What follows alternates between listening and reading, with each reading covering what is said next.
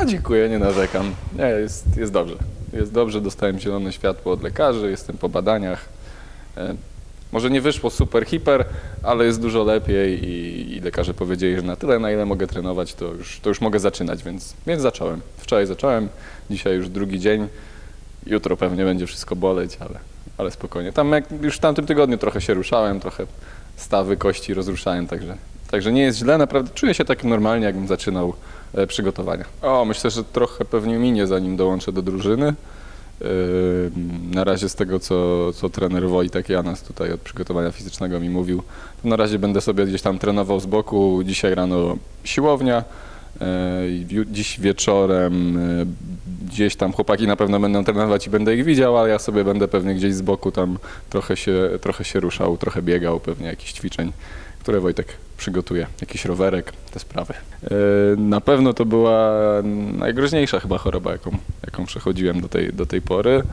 No daje dużo do myślenia, ma się dużo czasu też do, myśl, do, do przemyśleń. 12 dni leżałem w szpitalu, wcześniej jeszcze 4 dni chyba też z gorączką. Ta gorączka też w szpitalu nie chciała ustąpić, no i to jest takie e, dziwne uczucie, bo do tej pory człowiek myślał, że jest niezniszczalny i nawet jak gdzieś tam drobne przeziębienie, to po prostu idzie się na trening, trenuje, bierze się aspirynę i, e, i gra się dalej.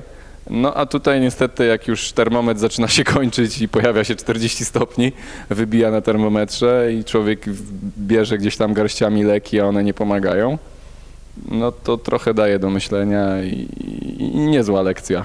Niezła lekcja że taka e, życia. Dlatego tym bardziej się cieszę, że już jestem zdrowy i że mogę, mogę wra- wracać do tego, co, co kocham. Dobrze, gramy u siebie. gramy u siebie. E, No to będzie takim, takim nie wiem czy dziwny mecz, ale no jeszcze te drużyny nie są przygotowane na pewno tak do, do sezonu. Ani my, ani my też mieliśmy jakieś tam swoje problemy. E, Zaksa też jakieś tam swoje problemy miała, nie odnosiła ostatnio jakichś spektakularnych zwycięstw. Brakowało im z tego co słyszałem o, o dwóch rozgrywających, więc byli bardzo osłabieni, nie mogli normalnie pewnie trenować też. Mm, Więc no zobaczymy, zobaczymy. Myślę, że, że, że wygra chęć walki i chęć, chęć po prostu zwycięstwa. Zaprosimy tak na, na coroczny zlot kibiców PGS Kry Bełchatów w tą niedzielę e, w Bełchatowie. Zapraszam.